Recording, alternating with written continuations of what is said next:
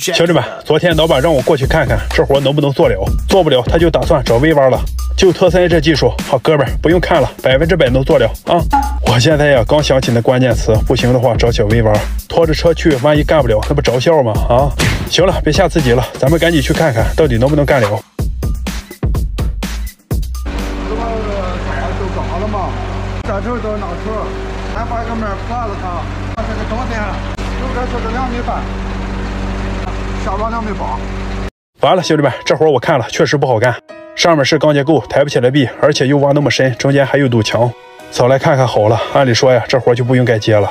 好不容易来个活，这堆呀，该受的还得受。为了将来自己能说一句有钱真好啊，对，而不是郁闷的说一句要是有钱就好了，那得多可悲呀，是吧？为了心中的理想，特森的胆儿是越来越大了。在没有原地掉头的条件，敢把拖拉机开进来了，这已经到了特森的极限了，绝对不能再往前开了。虽然倒不太好，但是咱们能用挖机辅助一下啊。现在特森对这个空车倒车的理解与操作，可以说是提升了断层式的 level。具体的操作细节呢，我还说不太清，反正就是千变万化，随机应变，知道吧？看到了吧？给你们演示一下，以前就是这样倒的。完了，这种症状呢，大约还得持续一个来小时吧。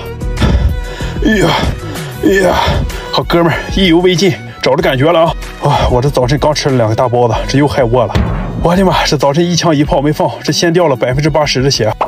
来看一下，兄弟们，这活到底有多难干？长大约有二十米，宽有个六米左右。关键这块有个柱子，而且这个门口还很小，两边都没法转，而且上面还有钢结构。我看唯一的好办法就是从这里挖一斗，然后退出来再装车，就是效率太慢了，估计得挖一个星期。我试了下，只能抬这么高，待会儿单桥来了还不一定能装上。这块是条沟贴着砖墙，上面盖的钢板，待会儿站在这里下挖三米，我担心撑不住。行了，兄弟们，先把这里破了装走，看看能不能释放一部分空间。注意看，车只能放在这里，稍不注意就容易碰到油缸。门口的卷帘门几乎也是碰着的状态，像之前那样退着装，旁边的墙碍事，实在是装不上了。咱说实话，真不如把这个墙拆了，到时候挖完了再砌起来。哎呦我操，这个猴子嘞，颠死我了！老铁们，这前面段挖起来还是比较顺利的。哎，我这担心再向后退，待会儿够不到车了，咋整？刚才咱们挖出了根铁管，等它切完了也该下班了。